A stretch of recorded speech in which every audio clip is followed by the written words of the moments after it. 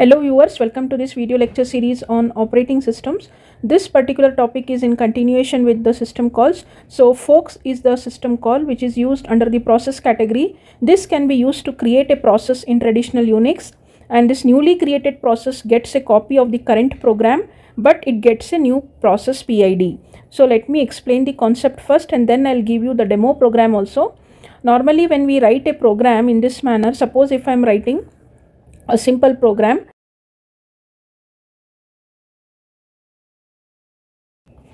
So as already i told you this fork will create what? A duplicate process. So now the current process which is the parent process and the newly created process which is called as the child process these two processes will run concurrently. So when you execute this program you will get in the output the printf lines which whatever you have written two times. One executed by the child process and another executed by the parent process. But you may not get in the same sequence. Suppose uh, when you run the program you may get an output like this. Good morning good morning immediately. One is executed by the child process. The, uh, the other printf statement is executed by the parent process. Then you may get like this nice day nice day. Once again here this statement from the child process this statement from the parent process. Now when you see such output we are not sure that this statement is it from the parent process or from the child process.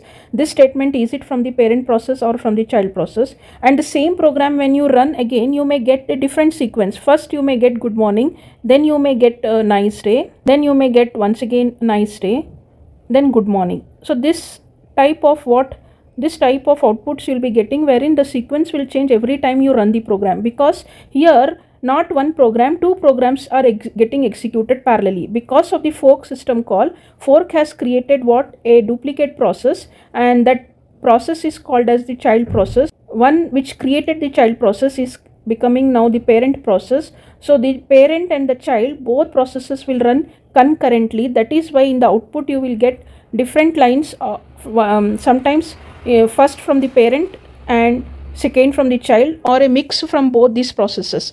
So if at all we wanted to know which lines, which output lines are exactly from the child process and which lines are exactly from the parent process, for that we have a mechanism. Fork will return a integer value and this value can be either a negative value or it can be a 0 or positive value. If it is a negative value, it is an error. If it is a 0 then it is a child process. Suppose if it is a positive value then it is a parent process. Uh, so by checking the return value to the fork system call we can find out whether it is a parent process or child process or there is an error. Error here is what the child process has not got created at all. So if like uh, suppose if you want to implement this in the C language you can use the if else ladder you can write down the return value okay suppose if i'm using variable r let me explain these things later not presently. You just see that r is storing the return value to the fork system call. If r is r is equal to negative uh, any negative value then you are uh, writing what? Error.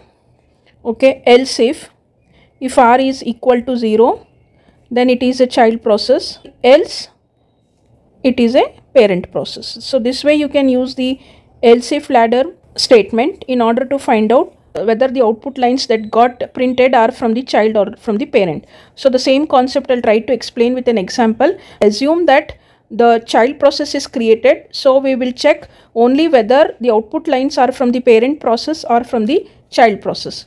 So for that I have a sample example here. So what I have done is I have included this header files. Normally when we are writing the C program we always include stdio.h because in order to make use of the printf and the scanf statements. Now when you are making uh, the system calls in your program you include these header files also. Then we can write the program. Here I am declaring this r variable of pid underscore t you should use in the same manner pid underscore t is what it is a data type. And it is a signed integer data type which is capable of representing the process id so normally whenever a process gets created the process will get a unique identifier and we call it as pid and this pid is stored in a process table.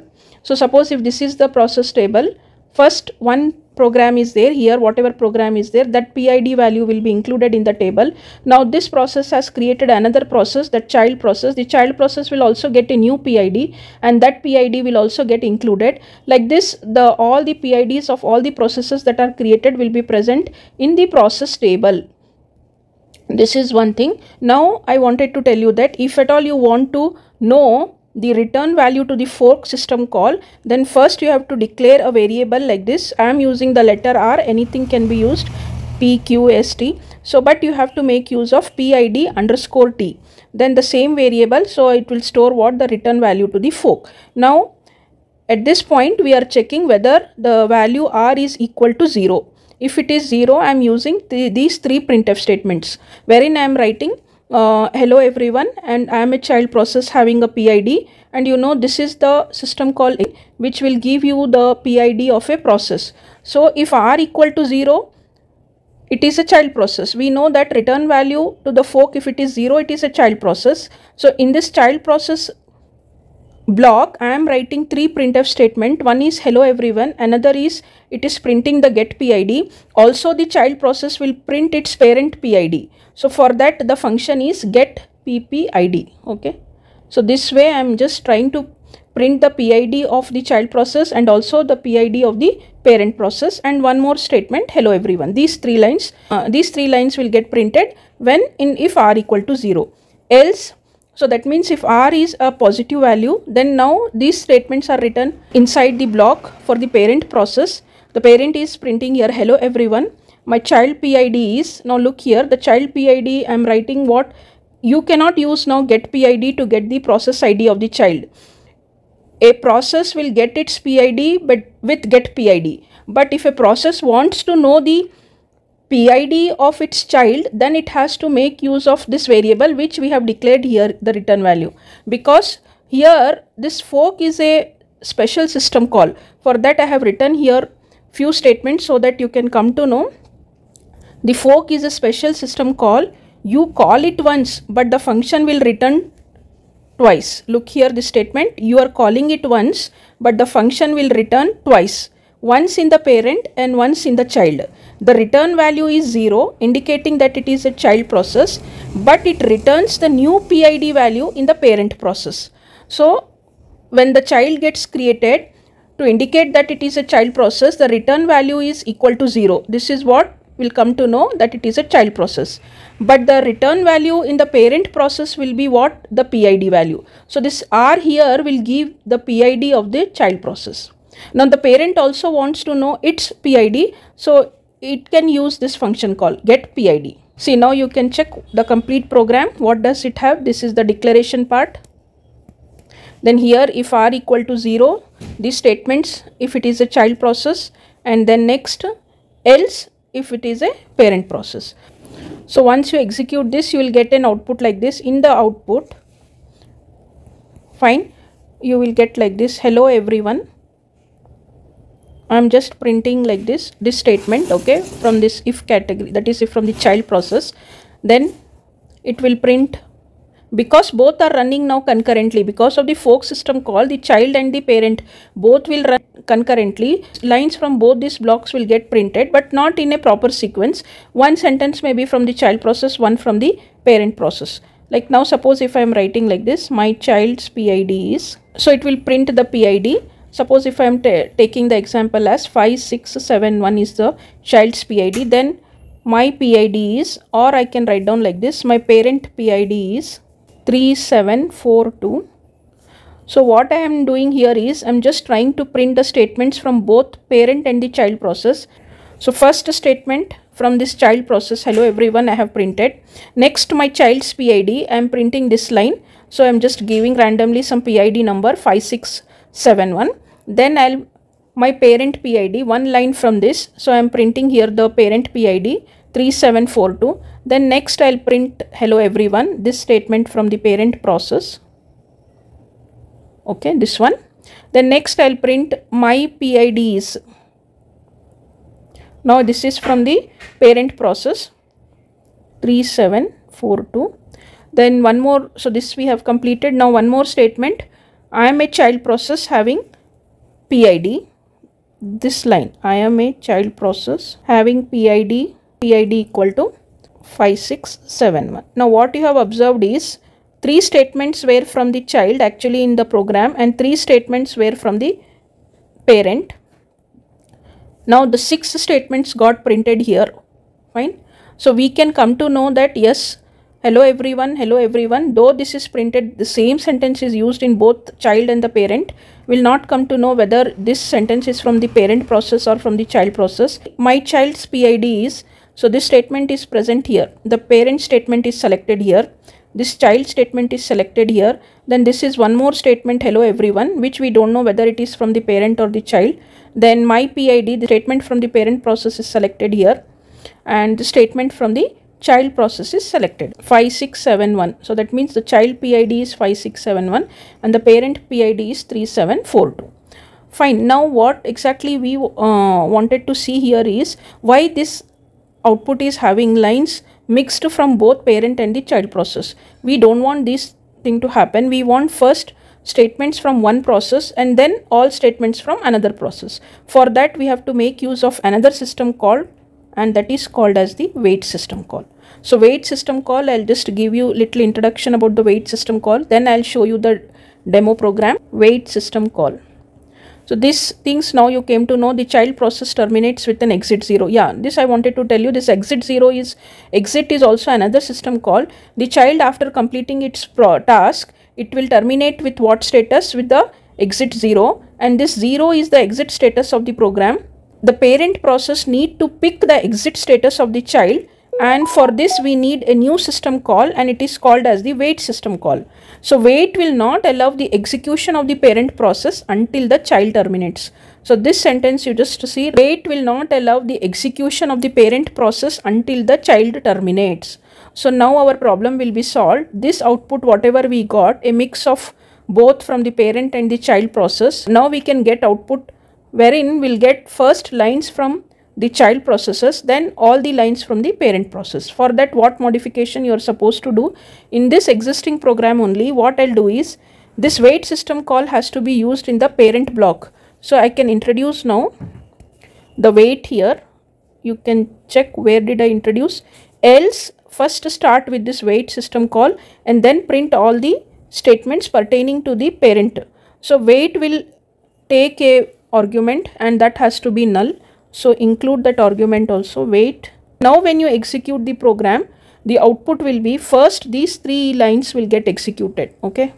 Completely the child process will get executed and next to all the lines from the parent process will get executed. So wait is actually carrying out this job. Wait will not allow the execution of the parent process until the child process terminates. So once you execute this in the output you will get first all lines from the child process and then next all lines from the parent process. So this is how wait system call is used in the program and this is also very much required here because in the process table which got created the PID of the parent process was there the PID of the child process was there in the process table like this the PID of all other processes will be there. If wait system call is used in the program when the fork is used the parent process and the child process executed okay the child process after executing it has to return the exit status and the exit status once it is returned to the parent process the parent will take the exit status of the child process which is the PID and it will delete the entry from the process table. Suppose if the entry is not deleted that means the exit status is not returned to the parent and when is the exit status not returned to the parent? When the parent is not making use of the wait system call. If it is not making use of the wait system call simply the child will complete its execution and it will terminate. Once it terminates its, its task is over but its PID still remains in the process table. So but this PID value should be actually taken away from this process table. It has to be erased from the process table. Because the operating system has allotted the resources to the child process or the resources of the child were actually shared from the parent process only.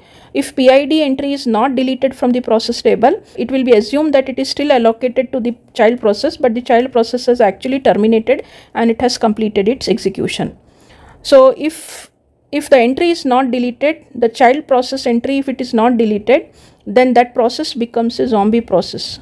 Zombie process is like a dead process, but still its entry is there in the process table. It is a kind of live process also. So this should not happen. Otherwise, all processes which creates the child processes will continue uh, leaving the PIDs in the process table if they are not making use of the wait system call. Hence, make use of the wait system call in the in the parent block here so that the parent process will wait until the child executes and then the parent will start its task. So this is how the wait system call can be used in the program. So I'll tell few more lines about the wait. Now I think it will make sense if you read this statement. The child terminates with an exit 0. 0 is the exit status of the program. The parent process need to pick up the exit status of the child and for this we need a new system call and it is called as the wait system call. So wait will not allow the execution of the parent process until the child terminates.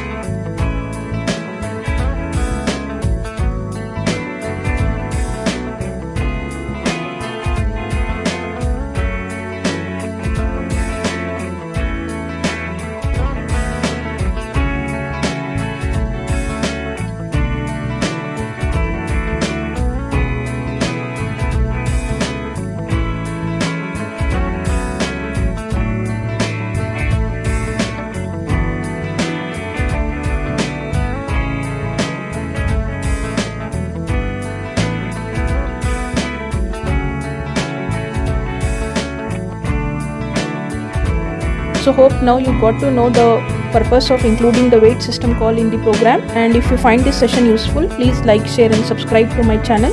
Thank you. Bye bye and take care